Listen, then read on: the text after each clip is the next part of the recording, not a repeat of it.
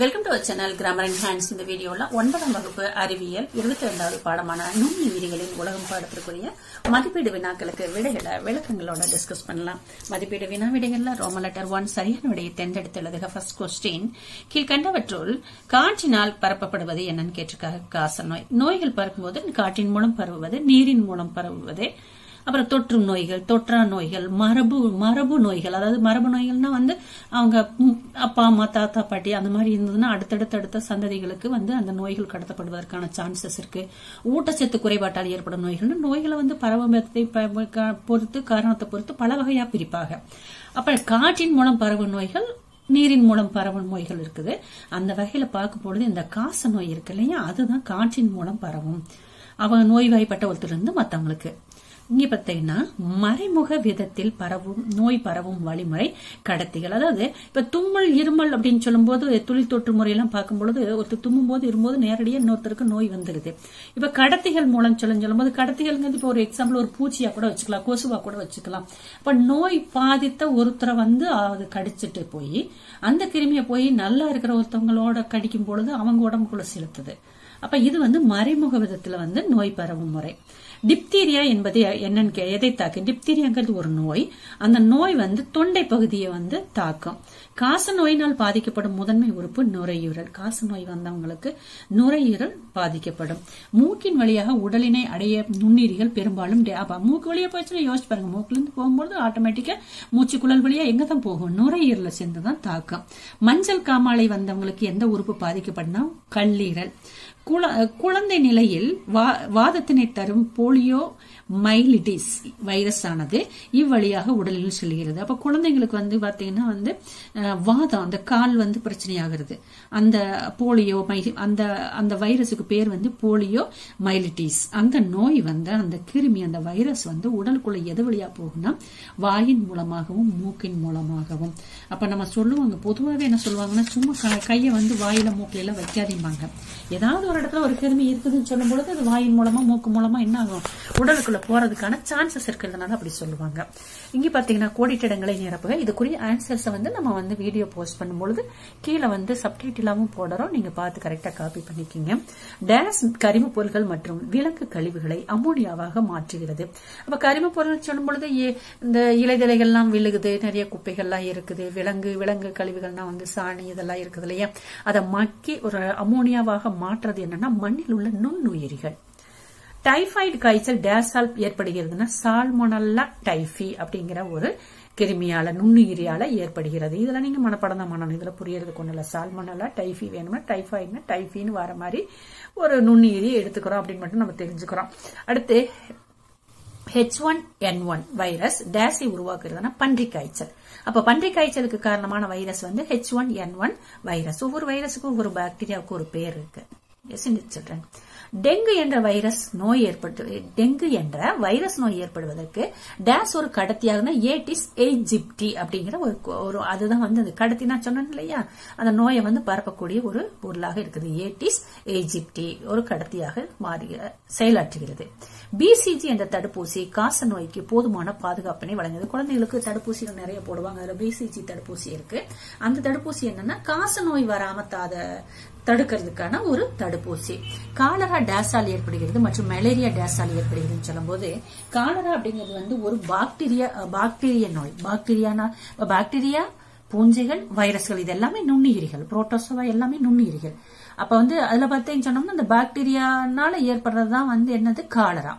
Malaria வந்து புரோட்டோசோவன்களால் ஏற்படுகிறது அப்படின்னு சொல்லி சொல்லும் பொழுது அந்த நம்ம அக்யூரேட்டா வேணும்னு சொல்லும் போது என்ன பாக்டீரியானா விப்ரியே காலரே அப்படிங்கிற பாக்டீரியானால அந்த என்ன நோய் ஏற்படுகிறதுனா காலரா நோய் ஏற்படுகிறது. புரோட்டோசோவான்னு சொல்லும் மலேரியா பார்த்தோம்ல என்ன பிளாட்டா பிளாஸ்மோடியம் அப்படிங்கிற ஒரு புரோட்டோசோவானால மலேரியா காய்ச்சல் வந்து ஏற்படுகிறது. பின்னாடி புக்ல நிறைய விவரம் கொடுத்துக்கிறாங்க இந்த பிளாஸ்மோடியத்திலேயே தீவிரமான காய்ச்சலை ஏற்படுத்துறது ஒரு அளவுக்கு காய்ச்சல் எடுத்துப்படுகிறது. ரொம்ப அதிகமா இறப்பை தூண்டக்கூடிய அளவுக்கு நோயை ஏற்படுத்தக்கூடியதுன்னு சொல்லி பிளாஸ்மோடியத்தில் நிறைய வகைகள் இருக்குது. சரியா? அது புக்கில் கொடுத்துருக்காங்க. நீங்கள் சிம்பிளாக பாக்டீரியா புரோட்டோசோவான்னு எழுதிக்கலாம். தெரிஞ்சுக்கணுங்கிறதுக்காக எந்த பாக்டீரியா எந்த புரோட்டோசோவா அப்படின்னு சொல்லி பேர் எழுதி காமிச்சிருக்கேன். ஓகே சொல்கிறேன் அந்த நெக்ஸ்ட் ஒன்மா விரிவுபடுத்தி எழுதுகன்னு சொல்லிக்கிறாங்க. ORS WHO HIV BCG DPT நீங்கள் தமிழில் மட்டும் எழுதினா போதும். தெரிஞ்சுக்கணும் அப்படிங்கிறதுக்காக நான் இங்கிலீஷில் எழுதி காமிச்சுக்கிறேன். ஓஆர்எஸ்னா ஓரல் ரீஹைட்ரேஷன் சொல்யூஷன்ஸ் அப்படின்னா வாய் வழி நீச்சத்தினை தரும் நீர்மம் நம்ம இங்க ஸ்கூல்ல எல்லாம் கொடுத்துருப்பாங்க. அதை வாங்கி நம்ம தண்ணியில கலக்கி குடிப்போம். அதாவது நம்மளுக்கு நிறைய வயிற்றுப்போக்கு இல்ல டீஹைட்ரேட் ஆயிடுது உடம்புன்னு சொல்லும் பொழுது உப்பு சக்கரை கலந்த நீர். அதை நம்ம வந்து வாய் வழியா கொடுக்கும் பொழுது நம்மளுக்கு நீர்ச்சத்து உடம்புக்கு வேணுங்கிற நீர்ச்சத்து கிடைச்சிருது. டபிள்யூஹெச்ஓ அப்படிங்கிறது வேர்ல்டு ஹெல்த் ஆர்கனைசேஷன் உலக சுகாதார நிறுவனம். ஹெச்ஐவிங்கிறது ஹியூமன் இம்யூனோ டெபிஷியன்சி வைரஸ் அப்படின்னா என்னன்னா வைரஸ் தூண்டக்கூடிய ஒரு இது. சாரி எய்ட்ஸ் தூண்டக்கூடிய ஒரு வைரஸ் எதிர்ப்பு குறைவுபடுத்தும் வைரஸ் அது என்ன பண்ணுன்னா அந்த வைரஸ் தாக்குனவங்க என்ன நோய் வந்தாலும் உடனே அவங்கள அவங்க அந்த நோய்க்கு ஆளாயிருவாங்க. எதிர்ப்பு சக்தி குறைஞ்சு போயிருது உடம்புல. பிசிஜிங் அது வந்து பேசில கால்மெட்டி குயிரின் அப்ப குயிரின் அப்படின்னு சொல்றது என்ன அப்படி இங்கிலீஷ்ல தமிழ்லயும் அப்படியே படிச்சுட்டாங்க. பேசிலஸ் கால்மெட்டே குயரின் அப்படிங்கிறது அந்த பிசிடி தடுப்பூசி. நம்ம தான் ஏற்கனவே பிசிடி தடுப்பூசி எதுக்கு போடுவாங்கன்னு பார்த்தோம். காச நோய்க்கு வந்து எதிராக குழந்தைகளுக்கு கொடுக்கப்படுற தடுப்பூசின்னு சொல்லி பார்த்துட்டோம். டிபிடிங்கிறது வந்து முத்தடுப்பூசி. மூன்று நோய்களுக்கு கூட்டா எதிர்ப்பு சக்தி தருது. டீனா டிப்தீரியா பி வந்து பெட்யூசஸ் டி வந்து டெட்டனஸ் அதாவது டிப்தீரியா பெட்யூசஸ் அப்படிங்கிறது வந்து கக்குவான் இருமல் டெட்டனஸ் இந்த மூன்று நோய்களையும் குணப்படுத்தக்கூடிய ஒரு தடுப்பூசி தான் என்னது? டிபிடி ஓகே நெக்ஸ்ட் பார்க்கலப்பா கீழ்காண்பவற்றுள் தனித்திருப்பதை கண்டுபிடின்னு கேட்கிறாங்க. எய்ட்ஸ் ரெட்டிரோ வைரஸ் லிம்போசைட்ஸ் பிசிஜின்னு சொல்லும் போது நம்ம பிசிஜி ஒரு தடுப்பூசின்னு தெரிஞ்சிட்டோம். இதெல்லாம் வந்து எய்ட்ஸ் சம்பந்தமான டேர்ம்ஸ் அந்த எய்ட்ஸ் நோய் அது காரணமான வைரஸ் அது உருவாக்குறதுன்னு சொல்லி அதனால இது வந்து காரணம் கேட்கல. அதனால நான் வந்து காரணம் எழுதல. பாக்டீரியா ரேபிஸ் காலரா சாதாரண சளி இன்ஃபுளுன்ஸால இதெல்லாம் வந்து என்னன்னா நுண்ணுயிர்கள் அறியப்படக்கூடிய நோய். இது வந்து ரேபிஸ்ங்கிறது வந்து பெரிய நாய்க்கடின்னு சொல்லுவோம். இப்ப வெறிநாய் கடிச்சதுனால ஏற்படுற நோய். அதனால அது தனித்திருப்பது. சரியா தவற தவறினில் திருத்துக ஃபர்ஸ்ட் கொஸ்டின் சொல்றேன். ரைசோபியமானது பருப்பு வகை தாவரங்களில் காணப்படும் வேர் முடிச்சுகளில் வளிமண்டல நைட்ரஜனை நிலைநிறுத்துவையோடு தொடர்புடையதுன்னு சொல்றாங்க. அப்படின்னா என்ன? பருப்பு வகை தாவரங்களா? பருப்பு வகை தாவரங்கள்ல பாத்தீங்கன்னா வேர் பாத்தீங்கன்னா எப்படி இருக்குன்னு கேட்டீங்கன்னா முடிச்சு மாதிரி இருக்கும். வேர்ல சின்ன சின்ன சின்ன சின்ன சின்ன சின்ன உருண்டை மாதிரி இருக்கும். அதுல வந்து சில பாக்டீரியாக்கள் வாழும். அந்த பாக்டீரியாக்கள் என்ன பண்ணுதுன்னு கேட்டீங்கன்னா வளிமண்டலத்துல இருக்கிற நைட்ரஜனை எடுத்து நைட்ரேட்டாக மாற்றி உங்க புக்ல இல்லவா அப்ப நான் என்ன இருக்குன்னா இப்ப ஒரு செடி இருக்குதுன்னு சொல்லி சொன்னோம்னா வேர் கீழே இந்த மாதிரிக்கு வந்து ஆணி வேரோ சல்லி இந்த மாதிரி இருக்குது இல்லையா? இந்த மாதிரி இருக்காம சின்னதா ஒரு உருண்டை மாதிரிக்கு காணப்படும். இதுக்கு வந்து வேர் முண்டுகள்னு சொல்லுவா. வேர் முண்டுகள் அல்லது வேர் முடிச்சுகள். இதுல வந்து பாக்டீரியாக்கள் இருக்கு. இந்த பாக்டீரியா அந்த வளிமண்டலத்தில் இருக்கிற நைட்ரஜனை எடுத்து அந்த தாவரத்துக்கு தேவையான நைட்ரேட்டாக மாற்றி கொடுக்குதுங்கிறாங்க. சரிதானே? அப்ப சரி முடிச்சிடலாம். அடுத்து தொற்றாத வகை நோய்கள் ஒரு மனிதரிடம் இருந்து வளர்ந்து பிற பிறருக்கு அப்ப தொற்றா நோய் நான் ஏற்கனவே சொல்லலையா தொற்று நோய்கள் தொற்றா நோய்கள் சொல்லி சொல்லுவாங்க. அப்ப சில நோய்கள் வந்து தொற்றாது சில நோய்கள் தொட்டிக்கும் இப்ப நம்ம சளி இருமல்லாம் பக்கத்துல இருக்கிறவங்களுக்கு சின்னம்மை எல்லாம் பார்த்தா பக்கத்துல அவங்களோட இருக்கிறவங்களுக்கு வந்து ஒட்டிக்கும். அதுல தொற்று நோய்கள் வரும். தொற்றாத நோய்கள் சில நோய்கள் இருக்குது. அப்ப இவங்க என்ன சொல்றாங்கன்னா தொற்றாத நோய் தொற்றாத நோய் ஒருத்தர் இருந்து இன்னொருத்தருக்கு பரவுன்னு சொல்றாரு தவறு போட்டுட்டு தொற்றா வகை நோய்கள் ஒரு மனிதரம் இருந்து வளர்ந்து பிறருக்கு பரவுவதாகும் அப்படிங்கிறது போல நீ என்ன எழுதிக்கலாம். பரவாதுன்னு சொல்லி எழுதிக்கலாம். அல்லது இனி இந்த பரவுவதாகனே வச்சுக்க இந்த தொற்றாத நோய்க்கு போல என்ன பண்ணிக்கலாம்? தொற்று நோய்கள் போட்டுக்கலாம். அது சிம்பிள் இல்லடா. தவறுன்னு போட்டு தொற்றாதது போல என்ன பண்ணிக்கலாம்? தொற்றுன்னு போட்டுக்குங்க. அப்ப தொற்று நோய்கள் ஒரு மனிதனிடம் இருந்து வளர்ந்து பிறருக்கு பரவுவதாகும். நெக்ஸ்ட் கொஸ்டின் ஆயிரத்தி எழுநூத்தி தொண்ணூத்தி ஆறாம் ஆண்டு ஜென்னர் என்பவர் நோய் தடுப்பு உருவாக்கும் உருவாக்குதல் என்ற நிகழ்வினை கண்டிருந்தார். அவர் தான் சொல்றாரு. ஃபர்ஸ்ட் ஃபர்ஸ்ட் எட்வர்ட் ஜென்னர் அப்படிதான் கண்டுபிடிக்கிறாரு. நோய் தடுப்புக்கு நம்ம ஒன்று பண்ணலாம். அதுக்கு வழி இருக்குன்னு அதை கண்டுபிடிக்கிறாரு. Hepatitis B hepatitis A AI காட்டிலும் அபாயகரமானதுன்னு சொல்றாங்க. அது வந்து காமாலை மஞ்சள் காமாலையில வருது. அது ரைட்டு தான். அதாவது ஏஐ விட பேங்கிறது ரொம்ப சிவியரா வந்து பாதிக்கக்கூடியது. பொறுத்துக்கு பாத்தீங்கன்னா பன்றி காய்ச்சல் கேட்டிருக்காங்க. நம்ம முதலே ஒன் மார்க் கொஸ்டின் பார்த்தோம் H one N one virus பார்த்துட்டோம். பிறப்புறுப்பு பாலுண்ணிகள்னு சொல்லும்போது மனித பாப்பிலோமா வைரஸ் அப்ப பிறப்புனா யூரினரி ட்ராக்ல வந்து என்ன ஆகுன்னு கேட்டீங்கன்னா அந்த நோய் அந்த கிருமிகள் வரும்பொழுது வந்து அதனால பிறப்புறுப்புல வந்து சில பொப்பளங்கள் இச்சிங் அந்த மாதிரிலாம் வந்து ஏற்படுறதுக்கு சான்சஸ் இருக்கு. எய்ட்ஸ் பார்க்கும் பொழுது எய்ட்ஸ் வந்து ஹெச்ஐவி வைரஸ் அதை நம்ம மேல பார்த்துட்டோம். காச நோய்க்கு வந்து என்ன சொன்னா இன்ஃபுளுன்ஸ் சாரி காச நோய் வந்து மைக்கோ பாக்டீரியம் அப்படிங்கிற இதனால ஏற்படுகிறது. சரியா?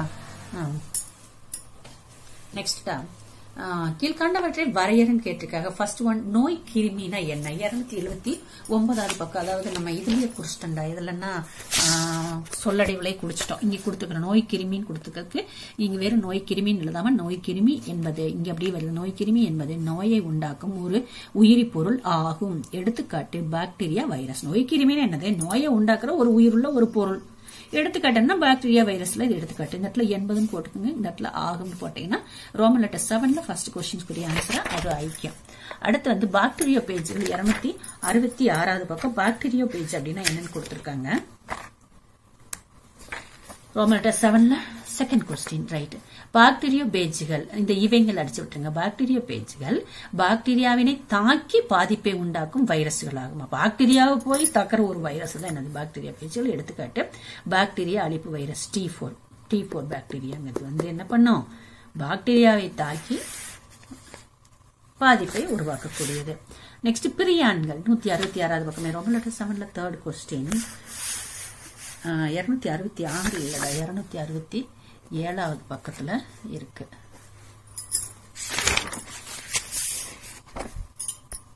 இங்க இருக்கு. ரோமன் லெட்டர் செவன்ல தேர்ட் கொஸ்டின் பிரியான் என்ற பத- பதத்தினை உருவாக்கி அது வேணா இங்கிருந்து வந்துக்கலாம். பிரியான்கள் புரதங்களை மட்டுமே கொண்டுள்ள வைரஸ் துகள்களாகும். இவற்றின் நியூக்ளிக் அமிலமானது காணப்படவில்லை. ஒரு வைரஸ்னால நியூக்ளிக் அமிலம் இருக்கணும். நியூக்ளிக் அமிலம் இல்லாம வெறும் புரதங்கள் மட்டும்தான். புரதங்களால் மட்டுமே ஆன வைரஸ்களுக்கு பேர் என்னது? பிரியான்கள் ஆகும்.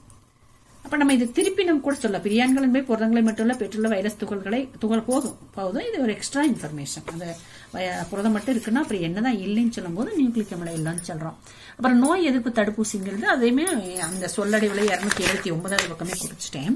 இங்கே அதே மாதிரி என்னன்னா நோய் தடுப்பூசிகள் என்பவைன்னு போட்டுக்கலாம். நோய் தடுப்பூசிகள் என்பவை ஒரு குறிப்பிட்ட நோய்க்கு எதிராக நிரந்தர அல்லது தற்காலிக நோய் தடுப்பாற்றலை வழங்குவதற்கு ஒரு ஆரோக்கியமான ஆரோக்கியமான கொல்லப்பட்ட அல்லது வலுவிழக்கப்பட்ட ஒரு நபருக்கு செலுத்தப்படும் நோய்க்கிருமிகள் அதாவது இந்த கிருமி என்னன்னா வந்து அதாவது ஒரு கிருமியோ இன்னொரு இதுக்கு வந்து மருந்தா வந்து இதாயிருது. அப்போ ஒரு குறிப்பிட்ட நோய்க்கு எதிராக டெம்பர பெர்மனண்டா அது போட்டுட்டா வரவே வராது. அல்லது கொஞ்ச நாளைக்கு வராது. அப்படிங்கிறதுக்காக கொடுக்கக்கூடிய ஒரு நோய் கிருமி. அது ஒரு நோய் கிருமி தான். அந்த நோய் கிருமி அந்த நோய் கிருமிக்கு ஆப்போசிட்டா செயல்படும். அப்ப நோய்க்கு தடு என்பனன் போட்டுக்கோங்க. இந்த இடத்துல ஆகும்னு சொல்லி முடிச்சுக்கோங்க. ரோமன் செவன்ல ஃபோர்த் கொஸ்டின் அடுத்தமா சுருக்கமான விடையில ஃபர்ஸ்ட் கொஸ்டின் விரியான் மற்றும் வீரியாய்டு வேறுபடுத்துக. இருநூத்தி அறுபத்தி அஞ்சு அறுபத்தி ஆறு ரெண்டு பக்கமே இருக்கு. இதை வேறுபடுத்துகன்னு சொல்லும்போது எழுதிக்கலாம். ரோமன் லெட்டர் எயிட்ல ஃபர்ஸ்ட் கொஸ்டின் இங்க ஒரு எளிய வைரஸ் துகள் வீரியான் என்று பெரும்பாலும் ஒரே ஒரு சிம்பிளஸ்ட் வைரஸ் வந்து என்ன சொல்லுவோம்? வீரியான்னு சொல்லுவோம். இது என்ன பண்ணுனா உயிருள்ள செல்களில் மட்டுமே வளர்ந்து பெருகுகின்றன. நோய் தொற்றினை உருவாக்கும் காரணிகளில் இவையே மிக சிறியனவாகும். அப்ப மூணு பாயிண்ட் சொல்றாங்க. மிகச்சிறிய துகள். இதுதான் இதுக்கள்லயே வந்து நோயை உருவாக்கக்கூடிய காரணிகள்லயே மிக சிறுசு. இன்னொன்னு உயிருள்ள செல்களுக்குள்ள போகும்பொழுது வேக வேகமா நிறைய கஜ கஜ கஜன்னு நிறைய பெருகிறது இது வந்து நம்ம எதுக்கு எழுதுகிறோம்? வீரியான்னு எழுதுகிறோம். அப்ப ரோமன் லெட்டர் எயிட்ல இன்னொரு ஒன்னாவது கொஸ்டின் கேட்டிருந்தாங்க இல்லையா? அது இங்க எழுதுறோம். என்ன சொல்றேன்? நான் வந்து வீராய்டு கேட்டிருந்தேன் இல்லையா? அது வந்து ரோமன் லெட்டர் எயிட்ல ஃபர்ஸ்ட் கொஸ்டின் வைரஸில் உள்ள புரத உரையற்ற புரத புரத உரை இல்லாம தீங்களிக்கக்கூடிய ஆர்என்ஏவே வீராய்டு எனப்படுகிறது. இவை தாவர செல்களில் உட்புகுந்து அத்தாவரங்களுக்கு நோயினை உண்டாக்குகின்றன. நீங்க இதை வந்து டேபிள் மாதிரி போட்டுட்டு இந்த இடத்துல என்ன பண்ணிக்கலாம் வீரியான்கள் வீராய்டு போட்டுக்கலாம். வீரியான்கள் அப்படிங்கிறது வந்து இது நோய் உண்டாக்கக்கூடியதுல மிகச்சிறியதுன்னு எழுதலாம். இது வந்து புரத உரையற்ற தீங்கணிக்கும் ஆர்என்ஏ எனப்படுகிறதுன்னு சொல்லி சொல்லலாம். இது எங்கன்னா உயிருள்ள செல்களில் பல்கி பெறுகின்றன சொல்லலாம். இதுக்கு வந்து தாவர செல்லில் உட்புகுந்து தாவரங்களுக்கு நோயினை உண்டாக்குன்னு சொல்லலாம் நான் டேபிள் போடல சொல்றேன். நீங்க போட்டு பழகிக்கணும் அப்படின்னா என்னன்னு சொல்றேன் அது வந்து உயிருள்ள சொல்களில் பரவுகிறது. இது வந்து தாவரங்களை சேர்ந்து அது நோயினை உண்டாக்குகின்றன. அந்த மாதிரி டேபிள் போட்டுக்கோங்க. மலேரியா ஒட்டியின் கடத்தியின் பெயர் யாது? தீங்கான மற்றும் சாவுக்கு ஏதுவான மலேரியாவை பரப்பும் மலேரியா ஒட்டினி சிற்றினத்தின் பெயரை எழுதுக இருநூத்தி எழுபத்தி மூணு ரெண்டு கொஸ்டின் கேட்டுக்கிறாங்க அப்ப மலேரியா நோய்க்கு காரணமானது என்ன? ஒரு கொஸ்டின் இன்னொரு கொஸ்டின் அப்படியே உம், இறப்பை தூண்டக்கூடிய அளவுக்கு சிவியரானது என்னன்னு சொல்லி ரெண்டு கொஸ்டின் கேட்டிருக்காங்க. இங்க ரெண்டு பக்கம் மேல அண்டர்லைன் பண்ணது எழுதிங்க பிளாஸ்மோடியம் பால்சிபரம் மிகவும் கொடியதும் உயிரை பறிக்கக்கூடியதும் ஆகும். இன்னொன்னு என்னன்னு கேட்டீங்கன்னா பெண் கொசுவாகிய அனாபிலஸ் கொசு கடத்தப்படுகிறது. இங்க எழுதிக்கணும். மலேரியாவானது. இங்க கேள்வி வந்து கே- எதனால் கடத்தப்படுகிறதுனா இப்ப முதல்ல இது எழுதுங்க. மலேரியாவானது பெண் கொசுவாகிய அனாபிளஸ் கொசுவால் கடத்தப்படுகிறது அப்படின்னு எழுதிட்டு ரெண்டாவதுக்கு பிளாஸ்மோடியம் ஃபால்சிபரஸ்ங்கிறது வந்து உயிரை படிக்கக்கூடிய அளவுக்கு சிவியராகும் சொல்லி இந்த ரெண்டு அண்டர்லைன் பைன பாயிண்ட்ஸ்ல மட்டும் எழுதுனீங்கன்னா உங்களுக்கு அது கஷ்டம். அந்த கொசு கடிக்கிறது மூலமா தான் வந்து என்ன நமக்கு அடுத்தடுத்து அது பரவுது. மூவகை ஆன்டிஜன் என்றால் என்ன? இந்த வகை ஆன்டிஜன்களை பயன்படுத்தி தடுக்கப்படும் நோயினை குறிப்பிடுங்க நம்ம ஏற்கனவே இங்க பார்த்தோம். நம்ம ரோமலிட்டர் எயிட்ல பிப்த் கொஸ்டின்ல பார்த்தோம். சாரி இங்க. மூவகை ஆன்டிஜன்கள் என்றால் என்ன? இருநூத்தி எழுபத்தி எட்டாவது பக்கம் சொல்றேன். இங்க. ரோமலெட்டர் எயிட்ல தேர்ட் கொஸ்டின் எழுதிக்கலாம். என்ன எழுதலாம் பாருங்க. அதாவது இது இப்படி எழுதுங்க மூவகை ஆன்டிஜன் என்பது ஒரு கூட்டு தடுப்பூசி ஆகும் மூன்று நோய்களுக்கு சேர்த்து கூட்டா போடுறோம் இல்லையா? அதனால கூட்டு தடுப்பூசி ஆகும்னு எழுதிட்டு அண்டர்லைன் பண்ணதை மட்டும் எழுதுங்க. Diphtheria tetanus pertussis diphtheria pertussis tetanus போன்ற மூன்று நோய்களை தடுக்க இக்கூட்டு மருந்து பயன்படுகிறது. ஃபர்ஸ்ட் இதை எழுதிட்டு அடுத்து வந்து எந்தெந்த நோயை குணப்படுத்துங்கிறதுங்க அந்த பாயிண்ட் எழுதிக்கலாம். அடுத்த கொஸ்டின் சுவாச மண்டலத்தோட தொடர்புடைய அதிக நாட்கள் காணப்படும் நோய்களை காணப்படும். அதாவது சுவாச மண்டலம் நுரையீரல் மூக்கு மூ- சு- மூச்சுக்குழல்ல தங்கி நோயை உருவாக்கி அது ரொம்ப நாள் நல்லாவே போகாது. அந்த மாதிரி நோய்கள் பேரை கேட்டிருக்கிறாங்க. இருநூத்தி எண்பதுனா இங்க கொஸ்டின் பேஜ்ல இங்க எழுதிட்டேன். காச நோய் கக்குவா நிர்மல் தொண்டை அலர்ஜி நோய் காச நோய் கக்குவா நீர்மல் தொண்டை அலர்ஜி நோய். ஒரு சாதாரண சளியே பாருங்களேன் வந்ததுன்னா சீக்கிரம் போறது கிடையாது. அது சுவாச மண்டலத்தோடு தொடர்புடைய நோய் தான். மூன்று கேட்டதுனால நான் மூன்று எழுதியிருக்கிறேன். நெக்ஸ்ட் ஒன் வாந்தி பேதியினை ஏற்படுத்தும் நுண்ணுயிரின் பெயர் என்ன? இதை தடுக்கும் ஏதாவது ஒரு முறையை கூறுக. இருநூத்தி எழுபத்தி ரெண்டாவது பக்கத்துக்குரிய ஆன்சர் இருக்கு. இங்க இருக்குடா பிட்டு பிட்டா இருக்குடா. விபரிய காலரேக்கு டிக் பண்ணிக்கிறேன். அடுத்து வந்து சுகாதார துப்புரவு வாய்வழி நீர்ச்சத்தினை தரும் ஓஆர்எஸ் நீர்மத்தினை உட்கொள்ள நிற்கிறான் இப்படியே எழுதுவோம்.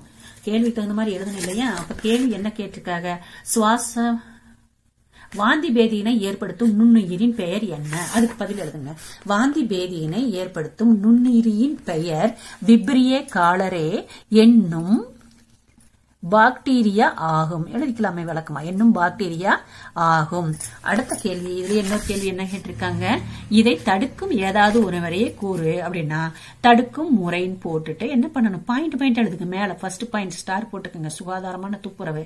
ரெண்டாவது வரி வாய் வழி நீர்ச்சத்தினை தரும் திரவத்தினை ஓஆர்எஸ் சொல்யூஷனை வந்து குடிக்கணும் அப்படின்னு சொல்லி எழுதிக்கணும். இப்படியே எழுதக்கூடாது. நான் சொன்ன மாதிரி நோய்க்காரணின்னு சொல்லி இது எழுதிக்கணும். தடுக்கும் முறையின் தலைப்பு கொடுத்து அழகாக எழுதிக்கணும். சொல்றான் இரு சாதாரண கொசுக்கள் மற்றும் அவைகளின் பரப்பும் நோய்களின் பெயர்களை கூறுகன்னு கேட்டிருக்காங்க ரெண்டு கொசுக்கள்.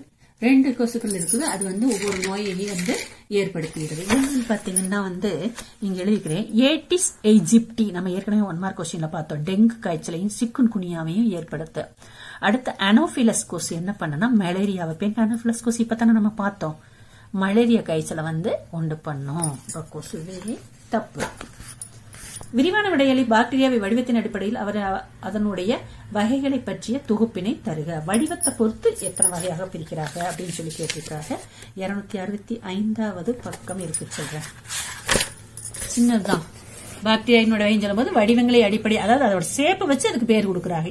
என்னன்னு பாத்தீங்கன்னா கோள வடிவத்துல இருக்குது. பாத்தீங்கன்னா வந்து இது வந்து என்ன கோலம்னா ஒரு உருண்டையா கோள வடிவ பாக்டீரியாக்கள் காணப்படுகிறது. இதை வந்து இன்னொரு பேர் என்னன்னா காக்கைன்னு சொல்லுவோம். காக்கைகள் அப்படின்னு சொல்லி ஒரு செல் மட்டும் இருந்தால் அதை காக்கஸ் சொல்லுவோம். நிறைய செல்கள் இருந்தா வந்து காக்கைகள் சொல்லுவோம். ஒரு செல் மட்டும் இருந்தா காக்கஸ் சொல்லுவோம். அடுத்து கோல்னா குச்சி மாதிரி இருக்குது. இங்க இருக்குது. கோல் வடிவ பாக்டீரியா. அந்த குச்சி குச்சியா இருக்குது. அதை வந்து என்ன சொல்றாங்கன்னா அதுக்கு பாக்டீரியாக்கள் வந்து பேசில்லைகள். அதுக்கு காக்கைன்னு சொன்ன மாதிரி இதுக்கு என்ன சொல்றாங்க பேசில்லைகள் என்ன அழைக்கப்படுகிறதுனா இதுல ஒரு செல் மட்டும் இருந்தா பேசிலஸ் பொதுவா நிறைய இருந்தா பேசிலை ஒன்று இருந்தா பேசிலஸ் அங்க இப்படி காக்கை காக்கஸ்ன்னு சொன்னோம் அது மாதிரிக்கு. அடுத்து இந்த மாதிரி திருகு மாதிரி ஸ்பிரிங் மாதிரி சுருள் மாதிரி காணப்படுற பாக்டீரியாக்கள் வந்து ஸ்பைரில்லான்னு சொல்றோம். அப்ப இதுல ஒரு சொல் மட்டும் இருந்தா ஸ்பைரில்லம் அப்ப நம்ம தமிழ்ல சொல்லும் பொழுது கோள வடிவ கோல் வடிவ திருகு வடிவ. இதே இதுல சொல்லும் போது காக்கை பேசிலஸ் ஸ்பைரில்லம் போட்டு இந்த படத்தையும் வரைஞ்சு எழுதினாத்தே இந்த கொஸ்டினுக்கு கரெக்டான ஆன்சரா அது இருக்கும் ரெண்டாவதுமா விவசாயம் மற்றும் தொழிற்சாலையில் நுண்ணுயிர்களின் பங்கினை விளக்கு இருநூத்தி அறுபத்தி ஏழாவது பக்கம் விவசாயத்திலும் இதுல எங்க பயன்படுகிறதுன்னு கேட்டிருக்காங்க. இருநூத்தி அறுபத்தி ஏழு நான் இங்க எழுதிட்டேன். விவசாயத்தில் பங்குன்னு சொல்லும் போதுதான் இங்கிருந்து இங்க வரைக்கும் மட்டும் எழுதுங்க. சரியா ரோமன் லெட்டர் எயிட்ல ரெண்டு இல்ல. நைன்ல ரெண்டுலடா ஆ ரோமன் லெட்டர் நைன்ல ரெண்டு. இதுல இருந்து இது வரைக்கும் எழுதுமா? அப்புறம் உயிரி உரங்கள்னு சொல்லும்போது இந்த இடத்துல பாக்டீரியாவில இருந்து இதோட முடிச்சு ஆகமோட முடிச்சிரு. மறுபடி வளிமண்டலத்துல ஆரம்பிச்சு இந்த இடத்துல நாஸ்டாக் வரைக்கும் மட்டும் எழுதிக்கிங்க. இந்த பக்கம் என்ன எடுத்திருப்பீங்கன்னா இங்கே அதே மாதிரி பேசிலஸ் இந்த தலைப்பு கொடுத்துக்கணும் உயிரிய கட்டுப்பாட்டு காரியங்கள்னு சொல்லி பேசிலஸ்ல ஆரம்பிச்சு இது வரைக்கும் முடிச்சுக்குங்க. தொழிற்சாலைகள்னு சொல்லி ஆரம்பிச்சு இதுல வந்து இன்னும் குறைக்கிறதுக்குலாம் ஒன்றும் இல்லை. அப்படியே வந்து இங்கே வரைக்கும் இருக்கும். இப்போ நீங்கள் என்ன பண்ணணும்னா படிச்சு வச்சுட்டு குறி குறிப்பு நோட்ஸ் எடுத்து வச்சுட்டு சிம்பிளாக நீங்கள் எழுதி படிச்சுக்கலாம். அது என்னென்ன பாயிண்ட்ஸ் வருதுன்னு சொல்லி ஒவ்வொரு இப்போ தொழிற்சாலைகளுக்கு தனியாக இருக்குது. ஆஹ் விவசாயத்தில் தனியாக இருக்குது. உயிரிய கட்டுப்பாட்டு காரணிகளாக நுண்ணுயிரிகள் தனியாக இருக்கு இல்லையா? ஒவ்வொரு தலைப்புக்கு கீழே ரெண்டு பாயிண்ட் மூணு பாயிண்ட் எழுதுனீங்கன்னாவே உங்களுக்கு அது போதுமானதாக இருக்கும். பல்வேறு வகையான வைரஸ்களை எடுத்துக்காட்டுடன் விளக்குக. இருநூத்தி அறுபத்தி ஆறாவது பக்கம். இங்க இருக்குல்லம்மா வைரஸ் தாவர வைரஸ்கள். விலங்கு வைரஸ்கள் சொல்லி படம் கொடுத்துக்கிறாங்க. தாவர வயசு வைரஸ்களுக்கு புகையிலை பலவன வைரஸ் எக்ஸாம்பிளா கொடுத்துக்கிறாங்க. விலங்கு வைரஸ்க்கு இன்ஃபுளுன்சா வைரஸ் இருக்கிறாங்க. அதனுடைய இந்த படங்கள் எல்லாம் நீங்க இப்போ எல்லாம் போட்டு பாருங்க. பழகினீங்கன்னா லெவன்த் டுவெல்த்லாம் போகும்போது ஃபர்ஸ்ட் குரூப் பயாலஜி குரூப் எடுக்கும்போது நம்ம ரெக்கார்ட்ல வரையறதுக்கு யூஸ் ஆகும். இந்த படங்களோட சயின்ஸ் சொன்னாவே எங்கெல்லாம் படம் வந்து பாசிபிள் இருக்குதோ அதையெல்லாம் வரைஞ்சு பழகிக்கணும். தாவர வைரஸ்னா தாவரங்களை தாக்கி நோயினை உருவாக்கும் விலங்கு வைரஸ்னா விலங்குகளை தாக்கி நோய்களை உருவாக்கிறது எந்தெந்த வைரஸ் என்னென்ன நோயினை ஏற்படுத்துகிறது அப்படிங்கறத பத்தி படமா கொடுத்திருக்கிறாங்க. அதுல உள்ள என்ன அமைப்பு இருக்குது அப்படிங்கறத கொடுத்திருக்கிறாங்க. அடுத்து புதிதாக பிறந்த குழந்தை. குழந்தை பிறந்ததுல பிறந்ததிலிருந்து பனிரெண்டு மா பனிரெண்டு மாதம் வரைக்கும் என்னென்ன தடுப்பூசிகள் போடுறாங்க? ஏன் இந்த தடுப்பூசி போடணும் ரெண்டு கேள்வி கேட்டிருக்காங்க. இருநூத்தி எழுபத்தி எட்டாவது பக்கம். ஃபார்முலேட்டர் நைன்ல ஃபோர் தான் இங்க வந்து பிறந்த குழந்தைக்கு வந்து பிசிஜி அது வந்து ஃபர்ஸ்ட் டோஸ் ஒன்னாவது விட்டோம்னா ஃபர்ஸ்ட் டோஸ் பதினஞ்சு நாள் ஆனோடனே வாய் வழியே போலியோ மருந்து வந்து ஃபர்ஸ்ட் டோஸ் அப்புறம் ஆறாவது வாரத்துல வந்து டிபிடி மற்றும் போலியோ வந்து ஃபர்ஸ்ட் டோஸ் பத்தாவது வாரத்துல வந்து டிபிடி மற்றும் போலியோ செகண்ட் சாரி ஃபர்ஸ்ட் ஊட்டம். கொடுத்துட்றாங்க அடுத்தது வந்து பதினாலாவது வாரத்தில் வந்து டிபிடி மற்றும் போலியோ ஒன்றாவது ஓட்டம் போடுறாங்க. ஒன்பது முதல் பன்னிரெண்டு மாதத்தில் வந்து தட்டமைக்கு வந்து ஃபர்ஸ்ட் டோஸ் போடுறாங்க. அவ்வளவுதான் நம்மளுக்கு கேட்டிருக்காங்க. அதனால அதோட நிறுத்திடல இன்னொரு கேள்வி கேட்டாங்க. அதனால் ஏன் போடணும்னா குழந்தைகளை தொற்று நோய்களிலிருந்து பாதுகாப்பதற்காக எந்த வயது குழந்தைக்கு எந்த தடுப்பு மருந்தை வழங்குதல் வேண்டும்? அப்ப நம்ம எத்தனை எந்தன்னு சொல்லக்கூடாது. என்ன சொல்லணும்? அந்தந்த அந்தந்த வயது குழந்தைக்கு எந்தங்களுக்கு மாதிரி என்ன அந்தந்த தடுப்பு மருந்தையும் மாத்திக்கிங்க. அப்ப இதையும் எழுதி இதையும் எழுதினாக்க இந்த கேள்விக்கு அப்ப அட்டவணை போடுறோம். அப்ப அந்தந்த வ- குழந்தைகளுடைய வயதுக்கு தகுந்த மாதிரி அந்தந்த வயதுக்குரிய தடுப்பூசிகளை போடும் பொழுதுதான் நோய் எதிர்ப்பு சக்தியுடன் குழந்தைகள் இருக்கும். அப்படின்னு சொல்லி நீங்க அந்த கேள்வியை கேள்விக்குரிய பதில முடிச்சுக்கலாம். அடுத்து கூற்று காரணம் கேட்டிருக்காருடா. ஃபர்ஸ்ட் கொஸ்டின் கூற்று வந்து சின்னம்மை நோய் வந்து உடலினுடைய வடுக்களை தடங்களாலும் கா- காட்டப்படுது சின்னம்மை வந்துட்டு போச்சுன்னா சேச த- தளம் தளம்பா வருது இல்லையா அப்ப சின்னம்மையானது முகத்தில் அரிப்பினை ஏற்படுத்தி உடலில் அனைத்து இடங்களும் அப்ப மே லைட்டா ஃபர்ஸ்ட் முகத்துல போடும். அப்படியே கொஞ்சம் கொஞ்சமா சொல்லுவாங்க நெத்தியில பாப்பாங்க அப்படி நெத்தியில இருந்து கழுத்துக்கு வரும். இது ரெண்டுமே சரியில்லையா? அதனால என்ன பண்ணலாம்னா கூற்று மற்றும் காரணம் இரண்டும் சரி மேலும் காரணம் கூற்றுக்கான சரியான விளக்கம் சொல்லி இந்த ஆன்சரை வந்து எழுதிக்கலாம். அடுத்து இதுல இன்னொன்னு கொடுத்திருக்கிறாங்க. எதிரி உயிரி போல்களை உட்கொள்ளுதல் டெங்கு நோயை குணமாக்கும். ஆமா அது எடுத்துக்கிட்டோம்னா வந்து ஆன்டிபயோட்டிக் எடுத்துட்டோம்னா காய்ச்சல் குறமா அது ஓகே ரைட்டு நோய் எதிர் உயிர் பொருள்கள் வைரஸ்கள் பெருகுவதை தடுக்கின்றன. அப்ப இது வந்து வைரஸ்கள் வராம பாதுகாக்குதுன்னு சொல்லி சொல்றாங்க. ரைட்டு தான். ரெண்டு சரிதான்.